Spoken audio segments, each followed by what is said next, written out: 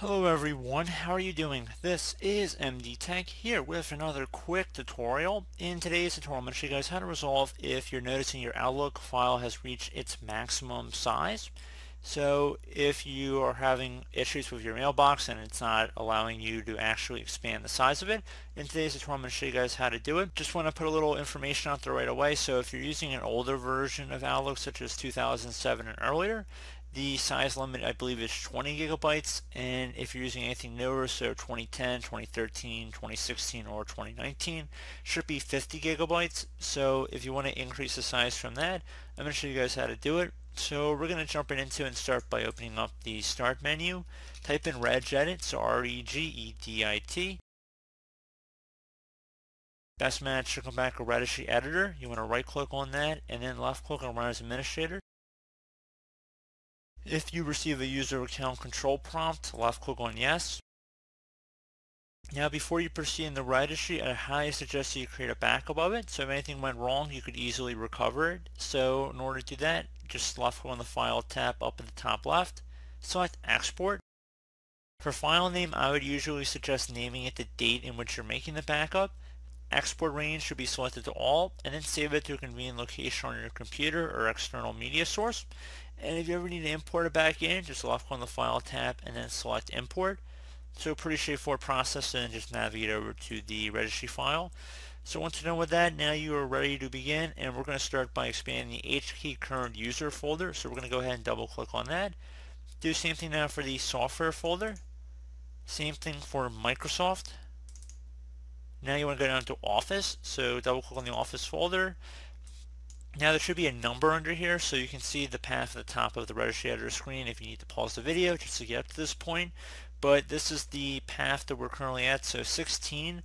If you see that number in here, that means that we're actually running the 2016 version of Outlook. You might have multiple numbers in here, but just to quickly put it out there, if you see 11, that means it's Outlook 2003. 12 means Outlook 2007. 14 means Outlook 2010. Number 15 means Outlook 2013. Number 16 means Outlook 2016. And I presume, I'm not 100% sure on this, but Outlook 2019 would more than likely, if you're following along with that pattern, should be 17. So I mean, that just makes the most amount of sense to me. So just keep that in mind. Once you have whatever version of Outlook you're looking to expand here, you want to go ahead and just click the little drop down arrow next to it.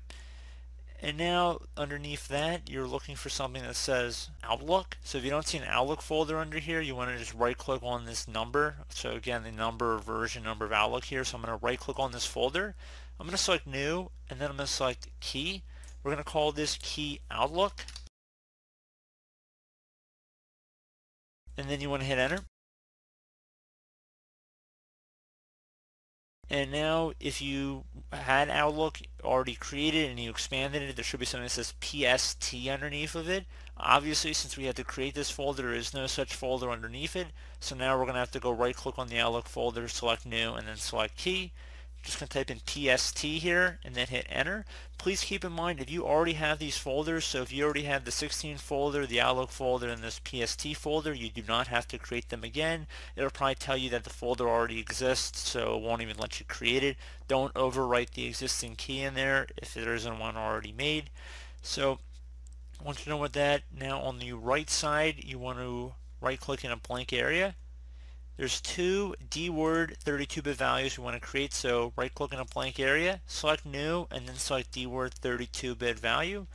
Now, the first thing we're going to type in is max, and this is very important. You want to type this in exactly as it appears on my screen. So max, large, file size, and I'm going to have this on the screen as well, so it should be in big letters. So again, max, large, file size, no spaces in between any of this stuff. Hit enter on your keyboard. And now that you've done that, now you want to create another DWORD value. So right click in a blank area again, select new, select DWORD 32-bit value, type in warn, W-A-R-N, so warn, large file size. So again, W-A-R-N, large file size. Hit enter on your keyboard now. Now that you have done that, you want to go open up the max large file size DWORD value first. So go ahead and just double click on that.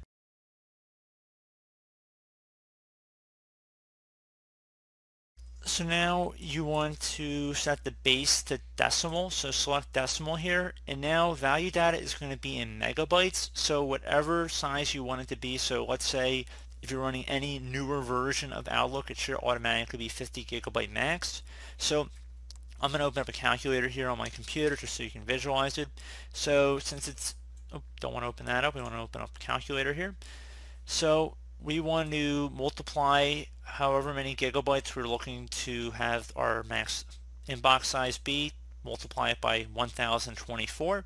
So let's say instead of a 50 gigabyte inbox, let's say we want to make it 100.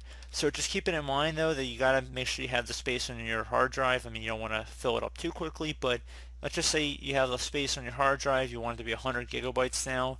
You're going to multiply 100 times 1024 so it comes up with 102,400 megabytes. So for value data we're going to just go ahead and type that in. So basically we're just doubling the size of our inbox here but if you want to change anything in between or more or less I mean that's fine. You do whatever you want. Just make sure decimal is selected here and then select OK now that you've done that you want to go open up the warn large file size, so double click on that. So basically this should be about 95% or whatever the max large file size is. So this is going to be the warning you're going to get if you are getting close to your maximum file size. So I still my calculator open here so again this is the max file size so I'm going to just multiply it by 0.95 or 95% so it comes up with 97,280 megabytes. Again this is based on 100 gigabyte inbox size. It will be different if you want to change your own custom size but I'm just going to do one for the purpose of this video here. So again select decimal and then we're going to type in 97,280 and then select OK if you want to say your warn large file size to be something smaller than that, that's fine. You can do 90% if you want. Doesn't really matter too much to me. And once you're done with that, you should be good to go. So you want to minimize out of the registry, close out of it, I should say, restart your computer, and hopefully that should be about it. And as always, thank you guys for watching this brief tutorial. Do hope I was able to help you out, and I do look forward to catching you all in the next tutorial. Goodbye.